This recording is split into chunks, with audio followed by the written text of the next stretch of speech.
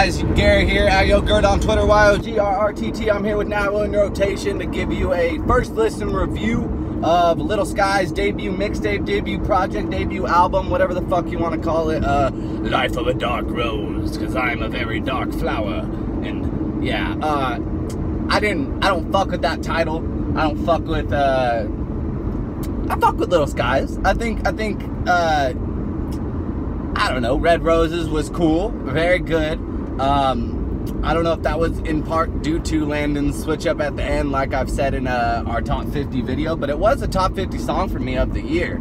So there's no debating that I didn't like the song or that I did like the song. Uh, but Nowadays came out, and when Nowadays came out, that kind of hit me in the jaw, and I was like, okay, no, Lil Skies is he's killing it. I like Rude. I like, uh, there's some other little Lucy's. He was doing some features with Yung Bans, uh, Wi-Fi Funeral within the same week.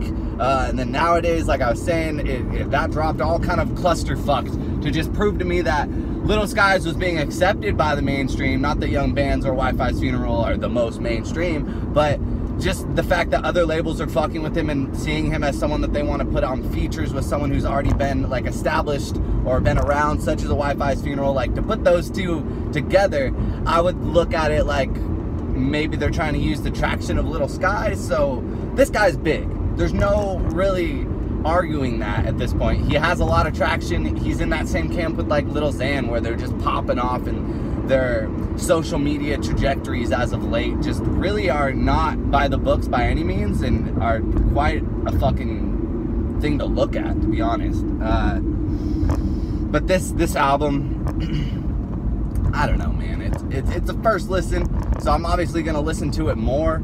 Uh, but the songs that I vibed with the most were the ones that I knew and a lot of the lines that he was like I don't know. I thought he was like I've always kind of hyped up his lyrical integrity.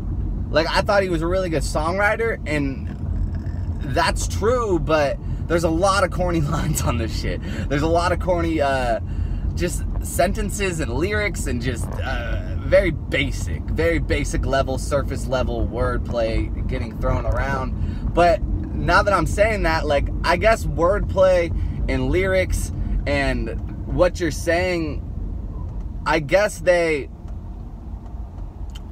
I guess they don't necessarily constitute as good songwriting. Like you could be a beautiful songwriter but not have the most fucking deep lyrics and while he is good at imagery, I do still stand by that. He always is saying shit that I can paint a picture in my head almost immediately with, or at least have my own in, uh, like interpretation of what he's saying based off of the words.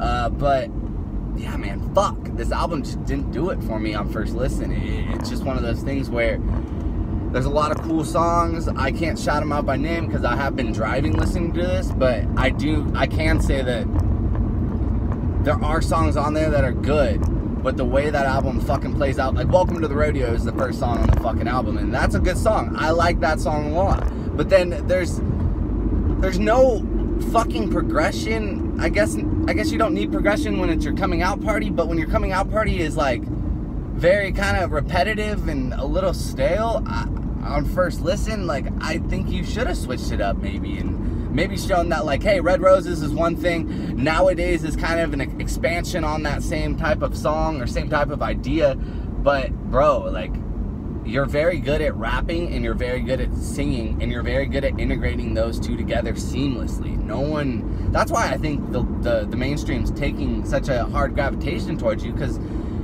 you're very very good at singing, rapping and rapping and singing and doing the sing rap and the rap sing and all that stuff and like that sounds good. Your vocals sound good. You as an artist sound good. But at the same time, you sound like every sing, like every every. No, you sound about you sound like seven SoundCloud rappers. You sound like about seven SoundCloud rappers just put together. Like you don't have a sound that is consistently yours. I don't think. And like just to say that you're good at sing rapping and like you're probably the best right now or you're the best at seamlessly integrating those or whatever the fuck I was saying like that isn't really a like a, a style that is yours, man. Like that's a Drake style. Like that's some shit that exists forever. It's just that's what people like. That's what's popular. But um, I'm excited to listen to this more, and I'm very excited for Lil Skies' future.